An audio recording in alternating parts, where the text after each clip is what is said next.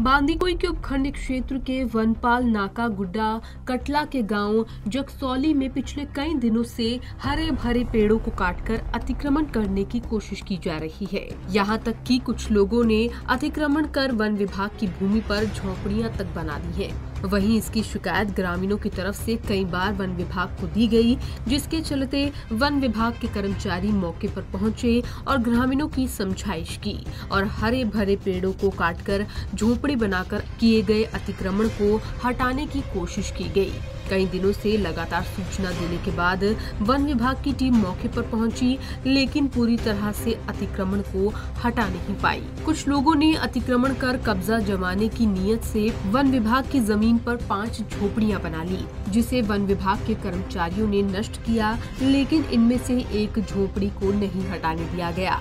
कई बीघा वन भूमि से हरे भरे पेड़ों को काट कर अतिक्रमण किया गया, लेकिन वन विभाग की उदासीनता के चलते आज भी अतिक्रमण को पूरी तरह से नहीं हटाया गया।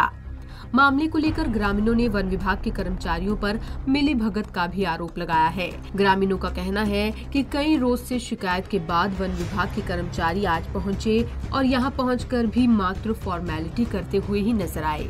ग्रामीणों से मिली जानकारी के मुताबिक आठ दिन पहले वन विभाग के कर्मचारियों को सूचना दी गई थी कि कुछ लोग वन विभाग की ज़मीन के पेड़ों को काट रहे हैं। लेकिन वन विभाग के कर्मचारियों की मिली भगत के चलते कर्मचारियों ने शिकायत पर मौके पर आना उचित नहीं समझा और अब अतिक्रमण कर लेने के बाद खाना पूर्ति करने के लिए कर्मचारी मौके आरोप पहुँचे।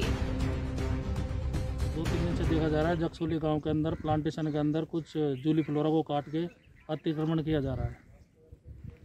और उसके अंदर तीन चार झोपड़ी लगा दी गई थी और उनको हमने चार को ध्वस्त कर दिया गया एक में सर, सरपंच साहब ने आश्वासन दिया है कि उसको शाम तक में हटवा दिया जाएगा। लेकिन जिस तरीके से जो ग्रामीण झोपड़ी के अंदर बैठे हुए हैं और ग्रामीण कह रहे हैं कि साहब हम मर जाएँगे लेकिन ये हटने नहीं देंगे। तो क्या किस तरीके की अब जो वन विभाग है वो कार्रवाई करेगा? या तो ये शाम तक हटाते नहीं तो पुलिस प्रशासन लेंगे और उच्च अधिकारियों से वार्ता करके और मतलब स्टाफ और उपलब्ध करवा के कार्रवाई करेंगे आगे के लिए। वहीं अब देखने वाली बात ये होगी कि वन विभाग की चार दीवारी में जिस तरह से लोगों द्वारा कई भीगा भूमि से हरे भरे पेड़ों को काटकर झोपड़ी डाली गई और अतिक्रमण किया गया है, अब वन विभाग इन लोगों पर क्या कुछ कार्रवाई करता है और अपनी ज़मीन को किस तरह से वापस लेता है, या फिर ग्रामीणों के मिली भगत के आरोप सच्चे पाए जाते हैं। पंजाब के सी के लिए दौसा से अचन पांडे की रिपोर्ट।